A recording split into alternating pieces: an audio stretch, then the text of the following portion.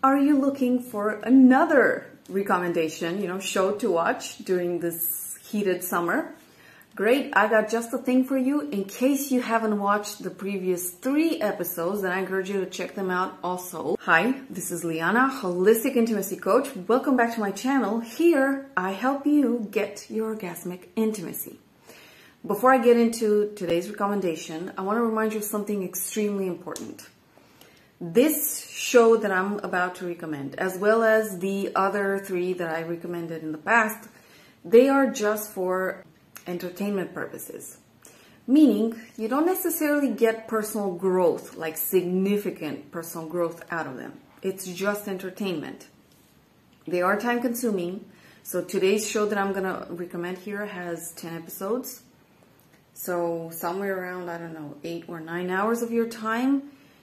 Really decide carefully if you want to give it that time. In case you want just to see new ideas or inspiration, visuals, just nuggets of inspiration, the way I see it. Maybe there's something that you can take there for yourself. Okay, sure, that's the research and inspiration search uh, process, and absolutely. For personal growth, I definitely recommend that you go for, uh, well, personal growth processes, coaching, reading niche books that actually bring you growth, uh, going for programs, doing practices that help you work through your sensations, emotions, and so on. And those I do also have. I have a lot of programs online on my website. They're linked under this video. An ebook, it's on Amazon. And I definitely have the practices which I publish, weekly practices. They're on Patreon, audio. You can take them with you wherever you have your cell phone. You have those as well. That's my big reminder for you. Practice, work on yourself if you want to see growth shows and entertainment, they are secondary or tertiary next to actual embodied experience. Always, always remember that. Right, so now coming to today's recommendation. Today I have the uh, show Minx for you. It's on HBO. It's uh, the first season contains 10 episodes. Here's what I liked about it. First of all, uh, apparently the magazine that it's portrayed in from the 1970s Los Angeles, there actually was one that is somehow emulated, not emulated, it's the inspiration for this show. So the magazine is called Viva. It uh, uh, was published between 1972 and 1978. Really, really progressive and uh, really, really daring to put it out there as well. In the show, because I'm going to stick to the show, there's this woman who wants to publish a feminist magazine, women's emancipation magazine, because she just, she's got a big brain. she's got a lot of stuff to uh, share and bring to the public. She's not necessarily commercial, as, you know, a lot of people are. You know, they have these smart ideas, but they're not necessarily commercial, though they are really good at ideas at the core. However, because everybody's turning her down and she's like, okay, I got to work on my presentation. There's somebody that makes fun of her, uh, and this guy apparently is the owner of several men's uh, erotica magazines, and he just makes fun of her from when he meets her for the first time. He gives him his card, he gives her his card, but he's kind of, you know, in a devil I don't care attitude. Um, and while she's turning him down, because he keeps telling her, you know, you might want to come to me also.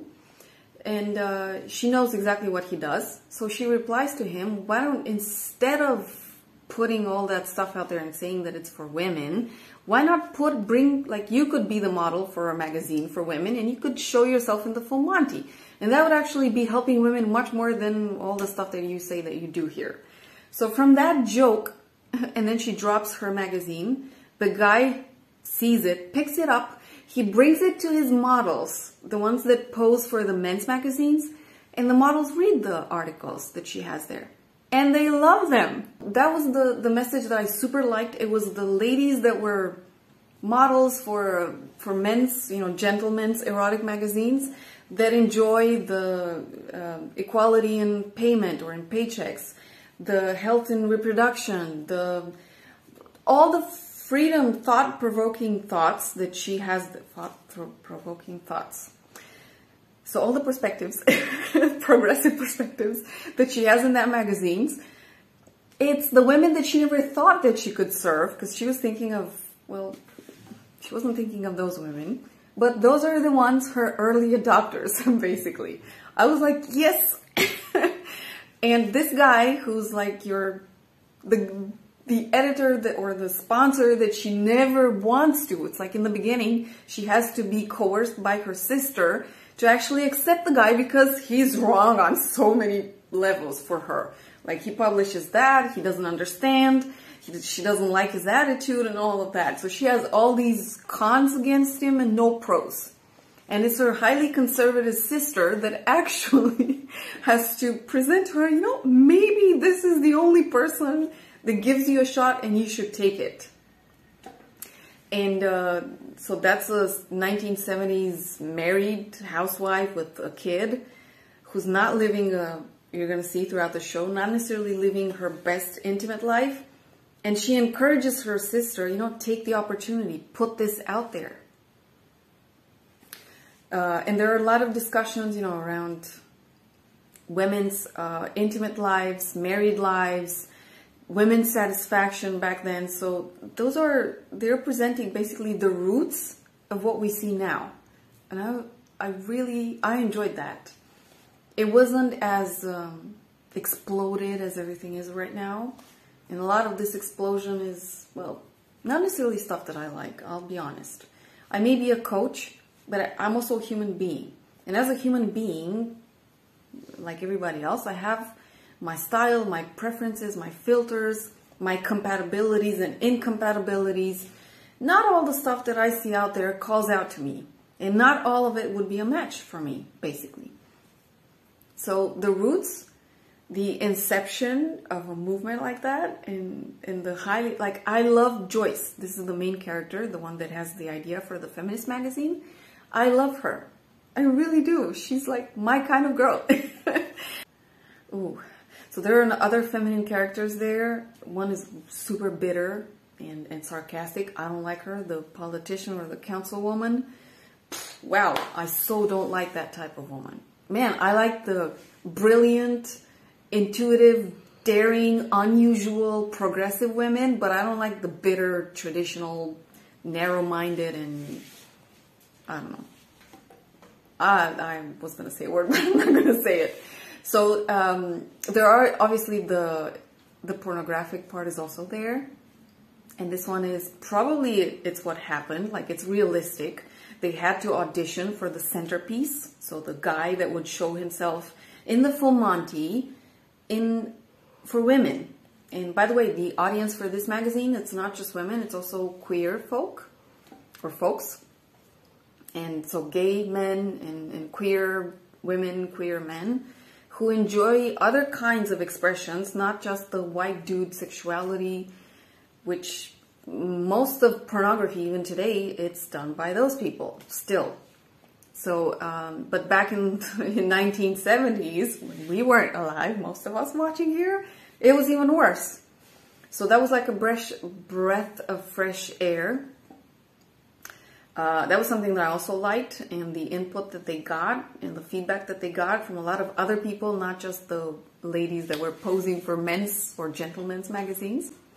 Um, one other thing that really got to me, and this is, you're going to see it throughout the episodes, so it has 10 episodes, is the clash of, I don't know if it's mentality or ego or power between Doug, the guy that has the um, all the magazines and he's sponsoring and producing as in making sure that it happens. So he gives his his infrastructure to Joyce to make her magazine happen. So he comes with the material and financial part.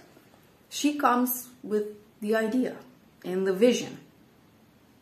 And she builds it along the way and basically she comes with the novelty there so towards the end, there's a clash of power between them. And it's, I think this is realistic even today. So I think this also happens in business. I think this happens in art. There's the artist and the creative person, the innovator, the ones that, that have the ideas, the brilliant, new, progressive ideas. And then there are the people that have the funding, the material, the, the um, yeah, all of that part. Once these two meet and each gives their best, there is a clash also that happens because when these two meet and success comes along, and in this case with the magazine Minx, there's a success, obviously, just after two editions. Um, the guy wants, he's coerced also, his ego is played also, like, there's more there, okay? There's temptation from the outside, there's people that want to, you know, shove a a little rat in there and or a snake in there, and just you know sneak their tails in. But the clash is there and it's pretty real, and I think that's also very realistic in today's world, not just in 1970s. Uh, that one really it got to me. I'll be honest, and I liked how she managed it. It wasn't easy. I'll be honest. To like, it wasn't easy for her to go through all the stuff that she went through so on that note, I'm going to leave it here. I invite you to check out the show if you resonate. And also, I'm going to remind you again, personal growth, your expansion doesn't come from the necessarily from the entertainment.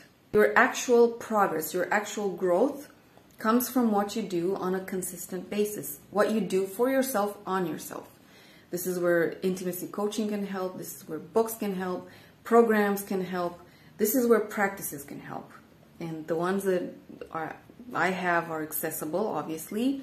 The practices, highly accessible, and you can check them out. They are on Patreon right now. Consider joining and actually doing them. So um, that's it. I'm gonna see you with other videos. I'm gonna stop here with the recommendation series. Bye.